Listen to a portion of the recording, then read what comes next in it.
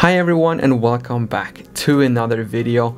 My name is Lukas, a foreigner originally from Sweden but has lived here in Taiwan for the past 8 years and that had his first encounter with Taiwan 10 years ago when he was an exchange student at Soochow University. And as you might have already guessed based on the trouble-free, careless Hakuna Matata clothing choice, we're gonna once again travel back in time together and check through my journal where I took some notes on my absolute first impressions and adventures here in Taiwan. Not really sure why this book would still be dusty because we just opened this up a couple of weeks ago, but I'm paying a lot of money to use these effects in my videos every week, so don't think too much, just sit back, enjoy, and we'll get this video started.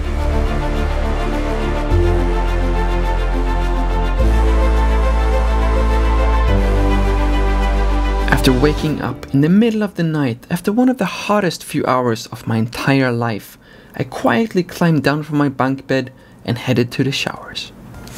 Okay, actually, this moment right here, my first shower in Taiwan, even now after being here for 8 years, this is actually one of the most memorable moments of my life here in Taiwan. And I already talked about this so I'm just gonna link to that video down in the description. So after you watch this one you can go and check that out. But for now I think we're gonna fast forward a bit until the time I actually go out and explore Taipei and Taiwan for the very first time. Okay, needless to say, pretty much everything out on the streets of Taipei is completely new for a Swedish guy who grew up in the middle of the forest. But I think we can all agree that dried squid, fried shrimp with the shell still on, and a drink with what I can only assume is tiny frog eggs can't be normal, right? Now, I have to say, and I think that this pretty much applies to every single Taiwanese that I know. As soon as you guys found out that there's a new tourist, a new foreigner coming to Taiwan, you Taiwanese people always want to show the weirdest, most traditional, most extreme things about Taiwan and especially the Taiwanese cuisine, which is very hard for foreigners to accept to begin with, especially if it's supposed to be their first actual meal, their first day, their first week here in Taiwan. I know Taiwan actually do have a lot of normal and very delicious food, but for some reason, everyone tends to just show the most extreme things and basically just force down the food down your throat. Hopefully one day a foreigner can start a YouTube channel and introduce some actual good foreign friendly food here in Taiwan. If that is something that you want to see, please do leave a comment below and give me some recommendations on what kind of food you like that you also could think be suitable for a foreigner, for a tourist that comes to Taiwan for the very first time. Although we just finished with the food market, the group decided to stop and eat once again.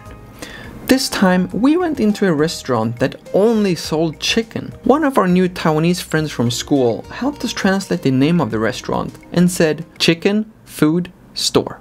All I'm hoping is that the chicken is just as fresh as the guy responsible for marketing. For the record, that is me, 10 years ago, together with one of the other exchange students in this chicken food store. After a three-course meal consisting of black chicken, herbal chicken, and nine-tailed chicken, you might have some questions about what a nine-tailed chicken is. Now, it may only be my second day here in Taiwan, but I've already learned that I should never ask any questions about the food here in Taiwan, and neither should you. It was time to continue with the shopping and sort out the few remaining details before school starts on Monday. And with the few remaining details, I mean a place to stay. Let the apartment hunting begin.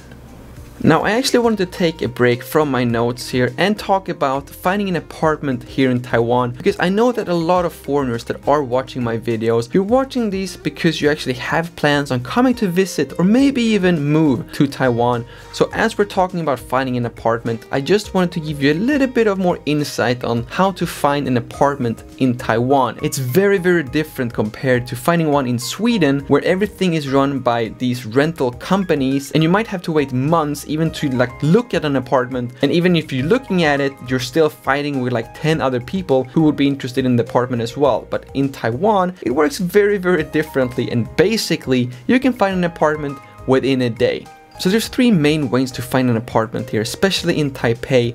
One of them are Facebook groups. I'm gonna link everything down below if you're interested in moving to Taiwan. They have a lot of Facebook groups where you can share apartments with other foreigners. Most of it is all in English. It's super helpful for your first time here in Taiwan. And then the official way to get an apartment would be the website 591. This is basically the only finding apartment website we use here in Taiwan and I really really recommend it. Problem is that everything is in Chinese. So what you might end up doing is that your first apartment might be a shared one from this Facebook group or an Airbnb nowadays. And then you will find someone that could help you with the Chinese and then they might be able to help you translate the different rental listings from 591 and be able to help you find an apartment that way. And then the third way to find an apartment, which I have to admit I thought was a joke first, that's just basically to go into a building that you think looks nice in an area you want to stay, just talk to the security guard, see if he knows if they have any available rooms in that building. And more often than not he will be able to get you in contact with the landlord who is renting out an empty apartment or even give you a tour himself. So you can just walk into a building you can get a tour of like three four apartments in the same building and then once you have find someone that you like he will be able to get you in touch with the landlord and you might actually be that lucky.